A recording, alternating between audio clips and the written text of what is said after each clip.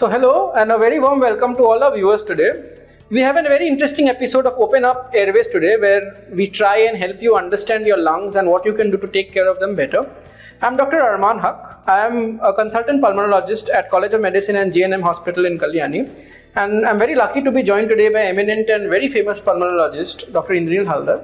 So, sir, I'll request you to please say a few words to introduce yourself to our audience. So, thank you, Armaan, for the podcast here. So I am Dr. Indranil Haldar. I am the professor and head of the Department of Pulmonary Medicine, College of Medicine, JNM Hospital, Kalyani, Nadia. So in 2025, as of today, COPD remains the second most leading cause of death in India. This is an alarming statistic, and we hope with this podcast we can elaborate on COPD, why it happens, what we can do to prevent it, and we'll talk in details about exacerbations, which are colloquially called the lung attack. So this sets the agenda for today's meeting. So I'd like to start by asking our esteemed panelist, Dr. Haldar. Sir, a few words about COPD in 2025. So COPD is a chronic respiratory disease caused by injury to the airways due to noxious particles, smoking and non-smoking also like biomass fuel, occupational exposures and pollution which causes inflammation and narrowing of the airways and also the alveoli so that ultimately less air is going into the alveoli and the oxygen from the alveoli is not going to your blood. Everybody knows that smoking tobacco causes COPD, but what is non-smoking COPD? So just a few decades back, we thought that COPD is caused mainly because of the smoking. But now we are seeing a lot of non-smoking COPD. So non-smoking COPD may be because of the biomass fuel exposure, which is a huge burden here in India where wood and other biomass fuel is being used, occupation, and also sometimes infections like tuberculosis may produce COPD. Long drawn asthma for a prolonged period when it is not treated in the proper way may also transform into COPD. So these are the some form of non-smoking COPD. Can you just tell us what the basic difference is between an asthma and a COPD? So asthma is basically a genetic disease. It starts from early life. It has a waxing and waning. It is because of the trigger so they are sometimes very good and sometimes bad when there is a trigger. There is narrowing of the airways, but oxygenation from the alveoli is normal. In COPD, there is airway narrowing because of a noxious particle injury to the airways and also the alveoli and it is permanent in that way. So COPD caused because of smoking or some other insult, it is a permanent narrowing of the airways and there are bad days good days. When bad days means there are exacerbation good days means they are not in the exacerbation and they are having those symptoms and are adapted to the daily day-to-day activities. So it sounds very scary. So is copd treatable? So copd is treatable and there is justified optimism at any stage of the disease. So it is preventable and treatable. Preventable because if you stop smoking early or do not smoke if you stop exposure to biomass exposure or occupational exposure it can be prevented treatable because we have very good drugs for them and we know how to manage those patients even when they are symptomatic at the end part of their COPD also. So, so what is the most important step a patient can take to tell their family member or for themselves that what you should not do, so you should not get COPD in your life? So, smoking cessation or at least they should not start smoking in the peer pressures are there and sometimes because of some other reason they may be taking to smoking. Don't smoke. Exposure to biomass fuel has to be avoided and we have very good plans in india where now we have lpg gases. So diesel exhaust and pollution is also rising but now that we are moving toward less pollution and we know how to prevent pollution that is important.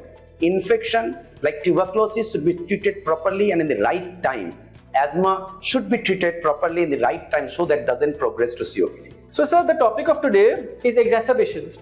Now, colloquially, people know that this is a lung attack or an acute worsening of symptoms. But can you explain what exactly is a COPD exacerbation and how does it differ from the daily problems that a patient of COPD is having? Armaan, you rightly told that this is a lung attack. People are scared about the heart attack when there is a myocardial infarction in an ischemic heart disease in patients of obstructive airway diseases, in COPD, when there is an exacerbation, it's called a lung attack. So what the patient of COPD have, they have cough, wheeze, shortness of breath. So the, when there is an increase in the cough, wheeze and the shortness of breath, which is above the daily things that they are having, and that requires interventions, it is called an exacerbation. How is it different? When it is increased to an extent that it really requires some form of medication or visiting the doctor, we call it an exacerbation or a lung attack. So thank you, sir. So why is it important for a patient of COPD to understand that I am having an exacerbation or I am going to have an exacerbation? And what will happen if they ignore this signs and symptoms? What would that look like? It is just like a myocardial infarction in ischemic heart disease or heart attack. It's a lung attack or an exacerbation of COPD. They should recognize it and understand it early. If they are not doing that, the symptoms will increase and ultimately there will be less of oxygen in the blood, more of carbon dioxide in the blood and ultimately land up in respiratory failure. They have to be admitted in the ICU, ventilated and they may in fact ultimately succumb from it. Not only that, if subject who is having recurrent exacerbation, there is a deterioration in the lung functions. When I mean lung function, that means the amount of air that can be inhaled or the way that can be exhaled will be deteriorating. With more of exacerbation, it will not come back to the normal baseline state when it was before the exacerbation. And with repeated exacerbation, the lung function will deteriorate to such an extent that they may be hampering their daily day-to-day -day activities. So prevention of exacerbation, understanding exacerbation at the right time is very important for the patients. So, sir, uh, is this also true for an asthma exacerbation? Is it this serious or is it not so serious? So, again, asthma exacerbation also there is narrowing of the airways, there is less of air entering into the lungs, and ultimately, if this goes on persisting and not treated, less of oxygen in the blood, and later on carbon dioxide may increase and may, the patient may land up in respiratory failure or in an ICU. But the lung function deterioration, which is seen in COPD, may not be to this that extent in cases of asthma. And asthma management with an exacerbation is very well if you treat it in the early part of an exacerbation. So, sir, how will a patient understand that they are having an exacerbation? What are some common signs or symptoms that they themselves can recognize at home and perhaps they can speak with you or another pulmonologist? So, in patients of COPD, they are normally having cough, shortness of breath, wheezing, with or without expectoration. When there is an increase in the amount of cough, shortness of breath, and expectoration, or the expectoration become purulent, thick mucoid, or they are having fever along with it, they should understand that they are probably having an exacerbations. And in asthma exacerbation also, yes, they should be knowing because of some trigger, there will be sudden onset of increase in the shortness of breath, they may be cough, chest tightness, maybe sometimes they are unable to speak a word. So they should be understanding when there is an increase of the daily day-to-day -day symptoms, they should understand that probably they are going into an exacerbation. Thank you, sir. Is there any test which the patient can perform themselves at home to know that I am at risk of an exacerbation or I am currently in an exacerbation? So this is very important for asthma patients. So normally on home care monitoring for asthma, we give them a peak flow meter. Right. Sir. So where they're expected to blow in the morning and in the evening and see what is the peak flow meter reading. So if there is a decrease in the peak flow meter reading, what we do is that we give them a green zone, yellow zone and a red zone. So when they are in the green zone, that means they're in the safe part. When they're in the yellow zone, we have them some written asthma action plan and tell them what to do. Definitely in the red zone, they should be visiting a doctor early so that we can take the patient in the proper track and recover them from their exacerbation. So, sir, for COPD patients, what are some common reasons or triggers which may cause an exacerbation? So, in COPD, we think that infection is probably the most common cause of exacerbation. Sometimes increase in the pollution may also cause an infection and then exacerbation. So these are the two important things we think of the reasons for an exacerbation of COPD. Because our air quality index is really deteriorating, you, are you finding more exacerbations in your daily clinical practice? Definitely. People staying in major highways or in major cities when they come, they have an increased risk of COPD exacerbation and they are happening having COPD exacerbation. This is because of the diesel exhaust and the pollutions from different factories and uh, also from different fumes that they are having. So exacerbation is increasing because of that. And so, what about asthma? Are the triggers the same or are they different? Because we know asthma means allergy colloquially. So, asthma is somewhat different the triggers. Here, the allergens probably are very important.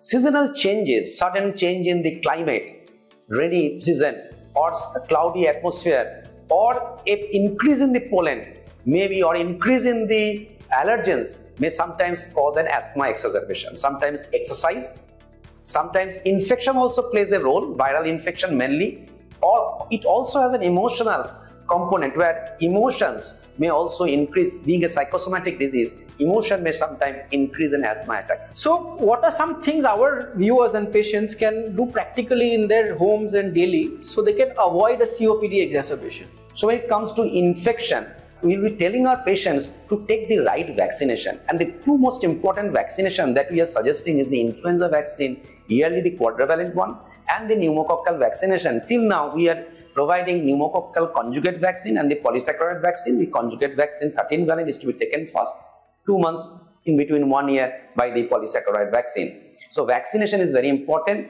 So they should be avoiding places where there are infection. During the times of increased pollution, they may be keeping their doors and windows closed. And if they have the facility to move on to a place where it is less polluted, it will be better. For occupational exposure may also be avoided Smoking and biomass fuel exposure as already discussed to you, they should be avoided in order to prevent an exacerbation. So second-hand tobacco smoke is also to be taken into account. So sir, we saw during the COVID and the pandemic and everybody was in isolation, we saw a drastic reduction in the number of exacerbations and that is probably because everybody was wearing masks and staying at home. So do you recommend everybody should wear masks daily? So this is not a practical thing that the patient can do. But definitely when they're in a crowded place for patients of COPD or when they're going to meet some of the person who is really suffering from a viral infection, that is the right time they should be wearing a mask. Absolutely. And what about asthma, sir? What uh, what can a patient do to prevent an asthma, acute asthma attack or a exacerbation of asthma? That asthma exacerbation is caused mainly by the allergens. Right. So they should know the right way to prevent allergens. So in their indoor allergens, the most common indoor allergen being dermatophytes, dust, they should know how to make their room dust free. Carpet should not be there. Bed sheets, bed covers should be boiled or some burial method like uh, coverings are there for preventing dermatophytes. Old books and some way when they are cleaning their rooms, it may be done by a vacuum cleaning or wet mopping may be done. Molds at least should be prevented pets should not be there in their bedroom. So this is important as smoke, smoking and other form of smoking like mosquito repellent which is also very dangerous. Agarbatis are also triggers for that and that is to be avoided. And viral infection may be one of the cause and that can be prevented definitely by the influenza vaccine or even they should also be using a mask when they are visiting a place where maybe which may be crowded or when they are meeting a patient who is suffering from a viral infection. So, so since asthma and COPD are chronic diseases, I'm sure all of your patients are on medication for a long time. So, are there regular treatments which this patient should be on to prevent an exacerbation? So, in order to prevent exacerbation, the first and most important thing is that compliance to the medication. The device and technique of the inhalation should be very good. They should not miss up that dose. The second thing is about vaccination. I have repeatedly stressing on vaccination in COPD. In fact, there are five vaccinations which are to be taken as per the recommendation.